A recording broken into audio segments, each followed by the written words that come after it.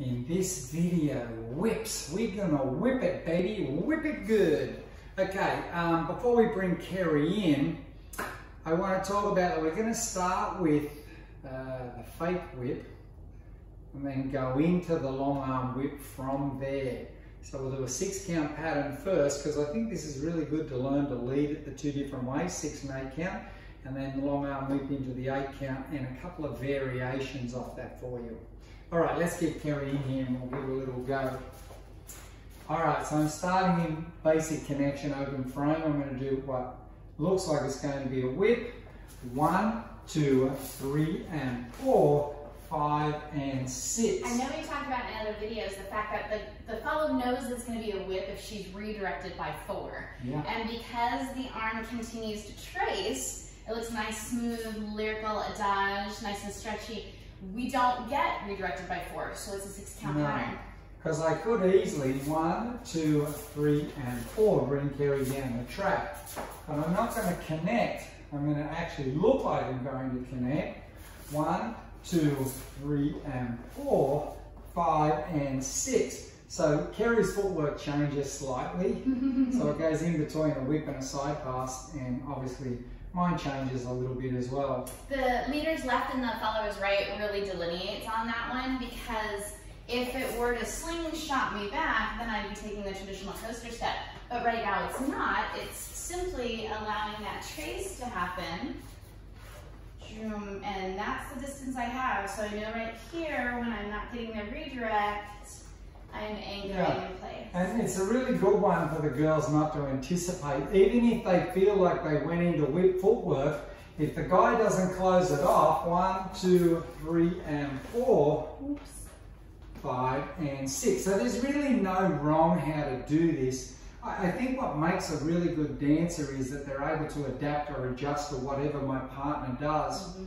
I may have had an idea or a concept, she might have had a variation on that, intentionally or not. But I'm still going to try and work with it. And the key element for me is when I leave these, I don't want the girls grabbing. I'll do it from this way. So, um, and go, oh, I missed a hand. No. one One, two, three, and four, five, and six. One, two, three, and four five, and We don't talk about this very much, but the intention down the left side of the leader's body stays in the left side, whereas in the whip, the intention would move from the left side to the right side in order to slingshot me, and it doesn't. So that's another lead technique the leader can use to telegraph, but also that the fellow can use to receive. Yeah. So work on that practice a little bit. Um, and then sometimes leading it one, two, three, and four, Ooh. and then finish it in close. So he is closing us up, but it's not continuing to whip I'm not continuing to whip, which means I would do a basic throw out or something similar there. So they're just a couple of concepts that will lead you into these whips. So if I want it to whip and I'm going to make it a long arm whip, I'm actually not going to do what I would call traditional footwork. One, two, three, and four, five, six, seven, and eight. So what I did, I went longer on four instead of my one, two, three, and four, and then rotating for five and stepping across the track. I'm one, two, three, and four. And then I adapt this to the girl. Sometimes it just collects as I rotate. Sometimes it'll step out and I'll step across. So I'm adapting and just knowing that I have a specific time timing I'm trying to lead the whip on, which for now is eight count. Intention is, re intention is to redirect me on four so he adjusts his One, two, three, and four, five, six, seven, eight. So I'm not in a hurry to get back in the track. And you probably saw by my body or the swing of my shirt, that intention that I said gives me the clue that he's moving from the left side of his body to the right side of his body and redirecting me. One, two, three, and four, five, six, seven, and eight. I made it really big then so it'd be visual. Yeah, and I like well, I want to do that for a particular reason. Like I don't lead with my arms, but I use my arms as a tool. So I connect through. I say no, I'm going to keep that. So Keri can feel that running, and I've let it run. So it's almost taking me with her, but I connect again, brings her away. Now I'm connecting more on the right side of the body to get her to rotate. So we'll do that again. One, two, uh, three, and four. Connect. Five, six. And I can even use a little bit of compression or connection to get the Sideways rotation on the um, six as well. And then seven, Let's eight. do it vertically. One, two, go along, Four, come around, wait for the girl. And eight. And Yeah. the other direction. And uh, one, two, three, and four, five, six, seven, and eight. Yeah.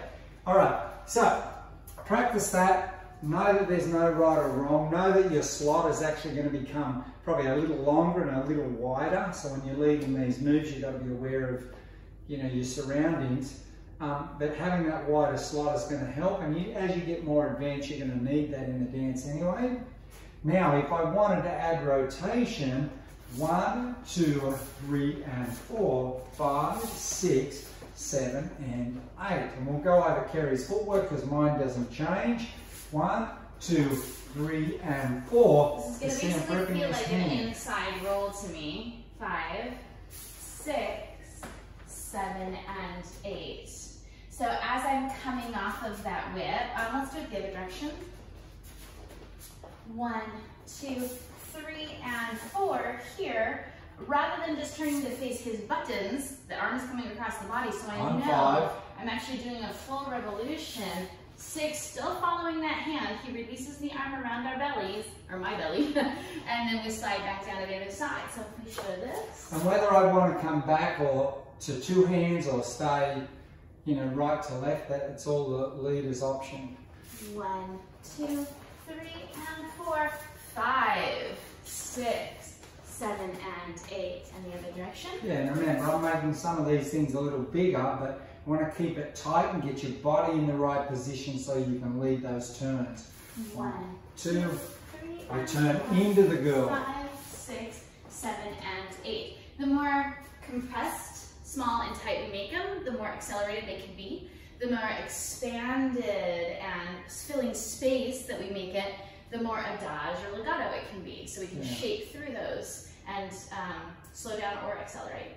Yeah, and we could add an outside turn to that as well. Um, it's the same principle as what you would do on a normal whip, except it's a long arm whip. Well, the guy could add a turn in there. We'll do the girls outside and just show it.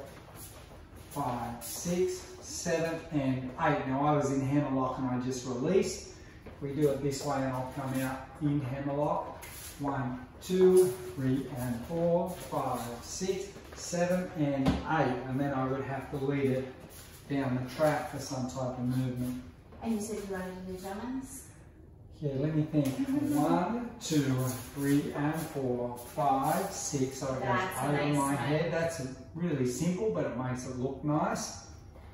One, two, three, and four, five, six, seven, and eight. So that's a little bit more tricky.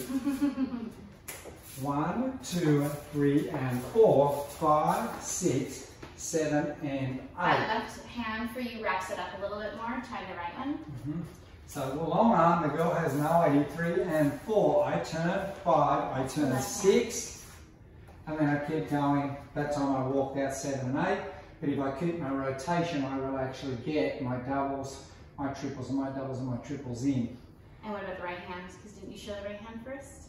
Oh yeah, I just walked under. It's just a walk under. Right. One, two, three, and four, five, six, seven, and You feel eight. less wrapped up and confined, so I Yeah. like that one to begin So- with. Over the head, rotating to the right, or over and rotating. And I'd like to show that in this direction. Which one? Both. All right, I'll do the simple. Three and four, five, six, seven, and eight. So I'm going over the right hand. And these are really good tools for later on. One, two, three, and four. Round five, six, seven, and eight. And what will happen when you get really good? One, two, three, and four. Five, six, seven, and eight. One, two. So it's a gateway move. We'll address that in higher level video. Yeah, so there's so many things you can do and be more musical by learning to do these just really in the more simple form, adding a little bit of rotation and get used to those different body positions and extend on from there.